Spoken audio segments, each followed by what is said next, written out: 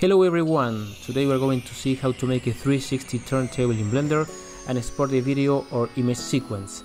Also at the end we'll learn how to export it with a transparent background, add depth of field and a background. So let's get started.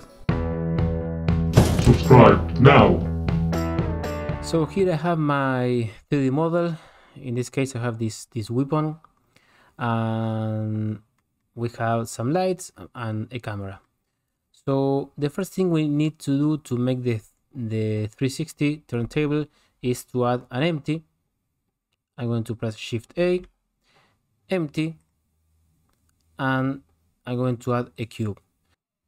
So here, here I have my, my empty cube. We use a, an empty because it's invisible to the camera. And now I'm going to animate the cube.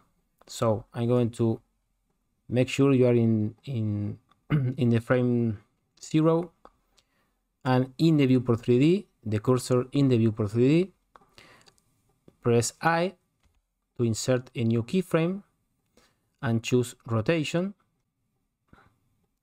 So now if you open this sidebar, you're going to you're going to notice that the rotation is yellow. This is because we now have a, a keyframe in this frame. Go to the last frame. In in my case is 300 you can go to the frame that you want. Rotate the cube. R. Set. 360 intro. So now i rotated the cube 360 degrees. And again press i for insert a new keyframe and choose rotation and now we have two keyframes. The first one with 0 degrees and the last one with 360 degrees. If I go back you're going to see that the the angle is changing and the cube is rotating. So if you go to the frame 0 and press play now the cube is animated. You will notice also that the cube is accelerating and decelerating I'm going to show you this in the graph editor so you can see the, the animation curves. This is the animation curve of the rotation in the Z axis. Frame 0, frame 300. 0 degrees, 360 degrees. As you can see, there is an interpolation. So there is acceleration and deceleration. To reduce this effect, you can select everything with A, press V to change the interpolation of the of the curves and choose vector. Now everything is straight and if you go back to the timeline and rewind and press play, there is no acceleration or deceleration. The last step is to select your model, then select the, the empty with shift click and then press Ctrl P to set a parent. So the weapon will be child of the empty of the cube and here you select you need to select object keep transform.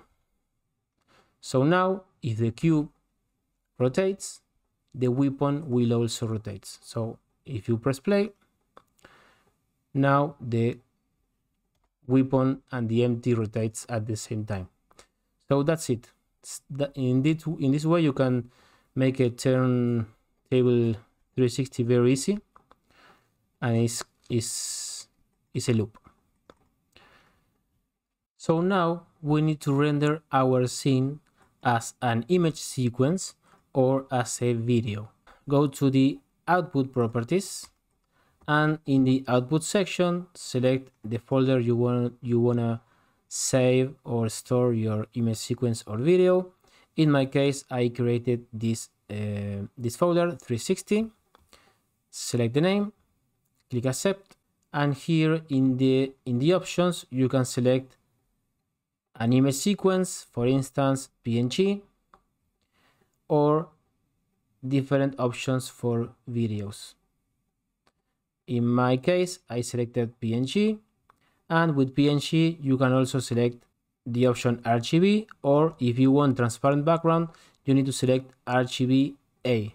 RGB is for red, green, blue and the A is for alpha. Alpha is the channel that stores transparency. Also, if you want transparency, you need to go to the render settings, the render properties, and go to the film section and turn on transparent. So if, if you don't turn on this option, you will see in the render, you will see the background like so. If you turn on the transparency, now the background will be transparent. So with these options, with transparency or without transparency, go to render and choose render animation. This way, Blender will render from 0 to 300 or whatever you have your setup and will save an image sequence or a video. Now let's see how to add an environment texture for the background and how to create the depth of field effect. So the first thing we need to do is to turn off the transparent option so we can see the background. And then go to the world properties and here you can load an image for the background. So clicking color select environment texture choose open. In my computer i have some textures already. For instance HDRIs the HDRIs are something similar similar like like 360 images. And I have this old uh, factory. So I'm going to select this one click open and that's it. So when I click render I'm going to see the background. That's the background. If you wanna make it a little bit darker just reduce the strength like so. And now we have the background and the weapon. As you can see the background is perfectly sharp. So now i'm going to add the depth of field effect. So first select shift a press shift shift a empty sphere. With this sphere we are going to set up where the camera is going to make focus. For instance here or maybe a little bit closer to the camera. And now select the camera clicking in the border of the of the frame. Go to the camera options. Camera options. And here you can turn on the depth of field. Select this empty. So now the camera is going to make focus in this empty. And by default this is set up something like 2.5 so if you render with this uh, with this setup you won't see too much the the depth of field effect. So i'm going to reduce this number so you can see better the effect like 0.2 so now you can see that is blurring the background. So that's it.